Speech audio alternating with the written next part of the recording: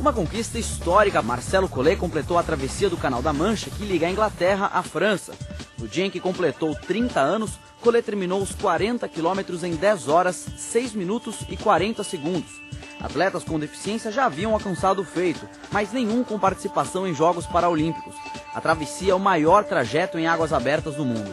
Além do brasileiro, um outro atleta paralímpico também conseguiu um feito impressionante no Canal da Mancha francês Philippe Croizan, que não tem pernas e nem braços, completou o percurso em pouco mais de 13 horas. O nadador, um ex-metalúrgico, contou com a ajuda de próteses especiais. Ele teve de amputar braços e pernas após ter sofrido uma eletrocução quando instalava uma antena de televisão há 15 anos.